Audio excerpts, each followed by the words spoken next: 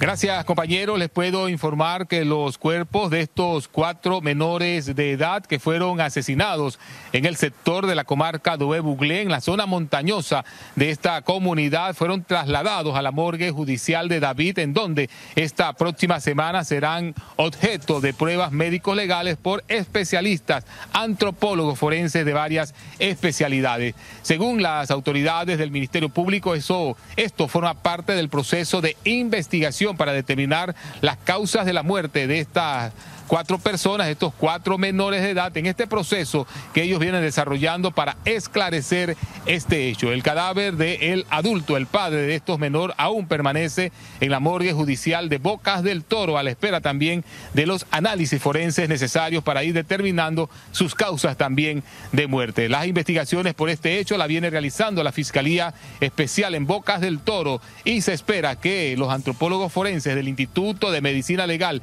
y Ciencias Forenses estén llegando a la provincia de Chiriquí a partir de este lunes. Demetrio Ábrego, TVN Noticias.